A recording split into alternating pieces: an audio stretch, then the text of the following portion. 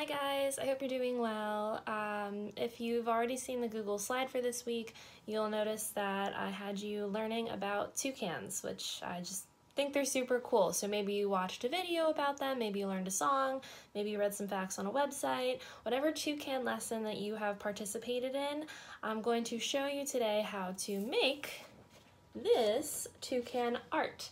It's gonna look super cool. It is a little bit difficult to draw the parts of the toucan, so if you get stuck on anything, it's always good to practice. Use a pencil before you use a marker, and you can use whatever you have at home. If it's markers, crayons, colored pencils, paint, whatever you wanna do. Um, so if you're interested in making this, stick around, follow along, and we will get to work on our toucans. So you can probably see I started to sketch this already with pencil. That's just in case I make any mistakes. Um, you might want to do it in pencil first too, but I'm going to use marker just so that you can see it a little better for the video. So I'm going to start in sort of the top right corner, not all the way over. I need some space for his head, but I'm going to start with his eye. So we're going to do a circle, and then I'm going to do a tiny circle inside of that, and I'm going to color it in just so that it looks like our eyes are a little bit shiny. And then to finish the eye, I'm going to make an upside down U shape on top of that eye. And then I'm going to connect a U shape on the bottom of the eye. All right, next part is I'm going to start the beak. So I'm going to come to the left of the eye. So I'm going to start at the top of the eye, move over a little bit, and do a curved line like this right next to the eye. Then I'm gonna do another smaller curved line right underneath it. So it's gonna have the eye and almost like a backwards three that's stretched out. So two curved lines. Now I'm gonna go in and finish the beak. So I'm gonna take up pretty much the whole page to do my beak. So I'm gonna come all the way out and it's gonna curve down a little bit. And then I'm gonna do the same thing from the bottom of that line to make the bottom part of his beak. And then this point that we made in the middle, that's going to be where the top of his beak matches the bottom. All right, toucans have a black tip on their beak, so I'm going to start up here and kind of just make a curved line. It almost looks like half a heart. And I'm going to add two lines here to kind of make a stripe on his beak. All right, my next step is his head. So I'm going to start at the top of the beak. I'm going to come up and around to make his head. So it's kind of just a curve shape that goes down. And then I'm going to make another curve shape that goes off the paper. So we're not going to worry about his tail feathers. And then I'm going to do the same thing. I'm going to start at the bottom of the beak. I'm going to come in a tiny bit, but then I'm going to go back out to make his chest and his belly, and that line's gonna go all the way off the bottom of my paper. All right, the next thing I'm going to do is start at the top of his beak here, and I'm gonna make another curved line on top of his eyeball like this, but that line is gonna continue to go all the way down, almost like half of a heart shape. So that half of a heart all the way around. And then this point that we made before, I'm going to make a U or a stretched out U shape. All right, his wing is a curved, almost like an upside down U or a rainbow shape. So I'm gonna start at the bottom and work my way up and over. And then for his feathers on his wing, it's a bunch of wavy lines. So it looks like a bunch of stretched out letter U's. So I did one line here, one row, and then I'm gonna come up a little bit and do the same thing again. And I'm going to go all the way up his wing.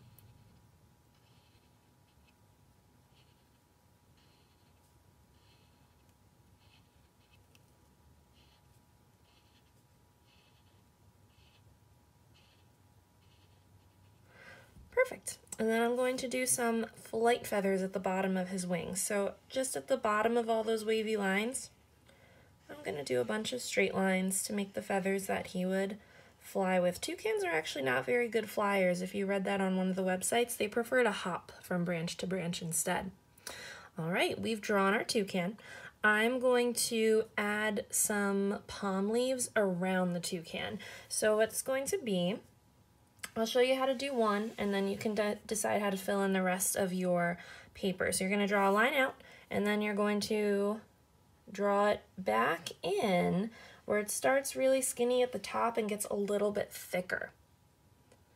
All right, and now we're going to make some leaves. So I'm going to start at the top of this and I'm going to make a curved line up and then I'm gonna bring it back in to make one leaf. And then I'm gonna do the same thing again here. Curved line up, bring it back in. Curved line up, bring it back in. And you'll notice that those leaves are starting to get a little bit bigger as I go up.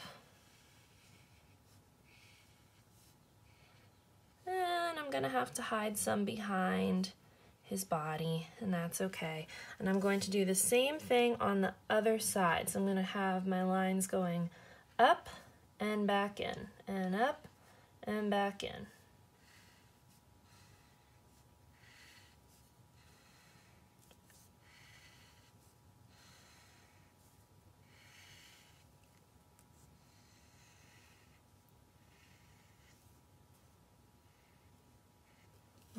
I'm going to add some more leaves on the top of my paper and I will check back in with you guys. But this is how you make one. You can decide to add more in the background. You don't have to add this if you don't want to. It's just an option to fill in some of the white space on your paper. All right, so I have gone in and I have added a bunch of palm leaves to my toucan artwork. The next thing we're going to do is color in the beak and the face just so that you know what colors to make the toucan's feathers on his face and what colors to make for his beak. Color this toucan in, I'm going to be using some oil pastels. Um, if you don't have them at home, totally fine. You can use crayon, marker, paint, colored pencil, whatever you've got to color your toucan in. So I'm gonna start by coloring his beak, the whole beak except for that little mark we made at the end. I'm going to color it in with a yellow color.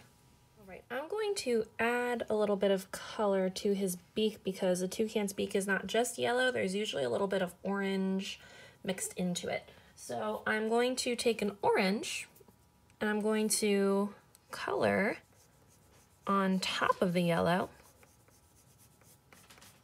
This is why I'm using oil pastels um, because the colors blend really nicely.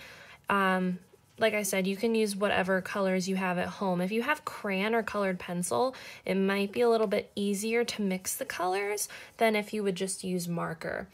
And on the top of his beak, I'm going to add that orange color down here next to the middle line. And I'm going to add it on the very top part, but I'm not gonna color in the middle section quite yet. So I'm just gonna add it around where I drew those black lines before. Sorry if you hear noises. Um, Eloise pushed one of her toys under her food bowl. That's my cat, and she's been pushing her food bowl around the kitchen. All right, next thing I'm gonna do is go in with red, and now I'm going to put the red on the bottom part of his bill or his beak, but I'm not gonna go all the way across. I'm gonna stop it about halfway so that there's less and there's more red in this corner. And I'm not really gonna add too much to the top part of his beak, but I am going to add a little bit of red to the very top of his beak. And then what I'm gonna do, oil pastels, if you've used them with me in school before, they smudge. So I'm gonna try to blend them in a little bit and get my fingers a little messy and mix them together. Awesome, so the part around his eye, this little circle right here is going to be blue, and then this section out here is going to be orange feel free to pause this video anywhere you need when you're coloring. Um, I'm just skipping the coloring part, otherwise this would be a super long video where you mostly watch Miss Schafer color in a toucan. I'm going to add black now to this part of his beak and to this part of his beak. So this section of your toucan is going to stay white because their chest is usually a white color, but I'm going to color in his back with black and I'm also going to color in his wings black because the wings are black, but I'm gonna show you a tip. If I color this whole wing black, you're not gonna be able to see the lines for the feathers very well. So when I'm coloring the feathers, I'm not gonna go all the way to where those lines are that I made with my marker. I'm gonna leave some space of white in between so that you can still see the lines where his feathers are. Like that. You see how there's a little white space in between the black that I'm coloring? So I'm not gonna color it all the way in. If you wanna color it all the way in, go ahead. I'm just gonna leave a little bit of white space because this black that I'm working with is very dark. I think it's even darker than the marker and I don't want it to cover up all of these lines. Ooh, that took a long time and my fingers are sore. Uh, but I colored the rest of the toucan in black and what I also did was I took this white you could probably use a white crayon to do something similar. And I traced over some of these lines and I pressed kind of hard so that you could tell the difference between the rows of feathers. And then the very last thing that you can do for your toucan artwork is to color in, if you did leaves in the background, you can color those in any shade of green that you'd like.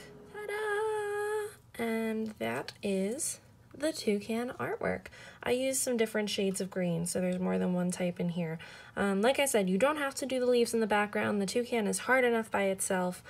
Use whatever you have at home, color the background however you want. Um, that's all for this week. I hope you enjoyed learning a little bit more about our toucans, and I look forward to seeing you next week for our art lesson.